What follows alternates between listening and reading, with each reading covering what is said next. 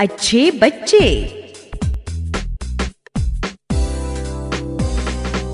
रोज सुबह जो जल्दी उठकर सबको शीश झुकाते हैं, रोज नहाकर, पूजा करते, हंसकर, पढ़ने जाते हैं।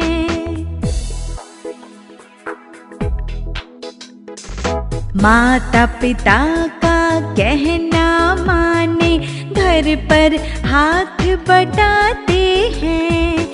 ऐसे बालक ही इस जग में अच्छे बच्चे कहलाते